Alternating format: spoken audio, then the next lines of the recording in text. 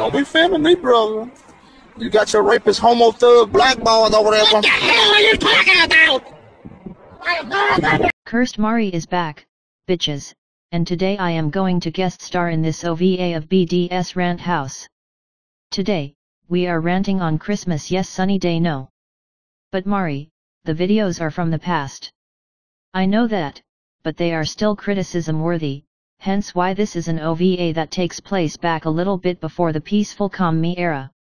Today we are going to look at 5 of their rants today with a bonus at the end. The first one is going to be on Superman 64, and like the actual game, it is probably going to suck. So sit back and get your bleach, because this is going to fucking hurt your eyes. Superman 64, more like Stupid Man 00. I told you this was going to suck. Also buddy, the X more like Y term is getting old and overused to all hell nowadays. I feel like Pooperman 69 would have been funnier as a mock name, but still. Speaking of mock names, they are getting overused to all hell nowadays, and I think you should stop. Oh my god, this game sucks. I agree with what you said, but please acknowledge the fact that your dad probably never came back with the milk LMFAO. All you ever do in this game is flying through rings and pick up cars. Finally, a good criticism point in a Go Animate styled rant. This rant may not be half bad after all LMAO. The graphics are lazy. That is to be expected in a Nintendo 64 game because back then even in 1999, there were graphical limitations for the Nintendo 64. It still does not excuse the fact that the game still sucks anyway.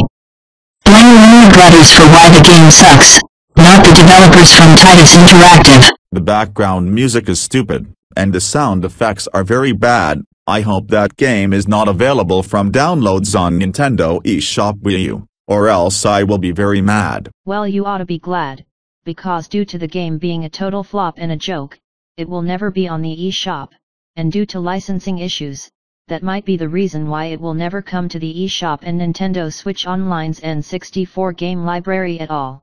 Do you know who likes this game? Not me that's for sure. And do you know who hates this game? I'm skipping this part because this part is getting old. Also, I'm only doing 3 of these rants in this video because it's already getting old now. There will still be a bonus at the end. Minecrafter and Super Mario 64 are 1 million times better than Superman 64, end of rant. Thank God the first rant is over, and what do I think of the rant? I would say that despite it actually being a Gonamate-styled rant, it still had valid criticism points in it, so it is mediocre at best. Not the worst that I have seen, but let's begin with the second rant which will be on Bob the Builder. Grab your puke buckets!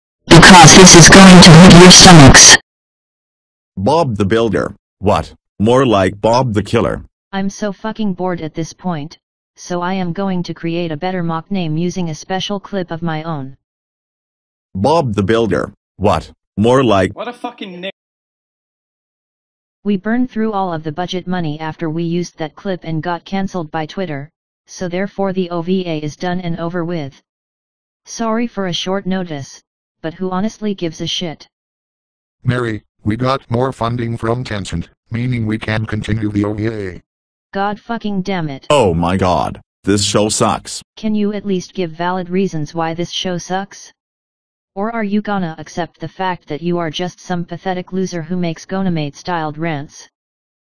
This show is about Bob with these machines, and they talk. Machines don't talk in real life. No shit, you retarded dumbass.